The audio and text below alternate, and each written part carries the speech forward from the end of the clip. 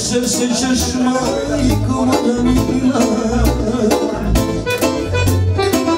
Kako si nam se nešto otkidani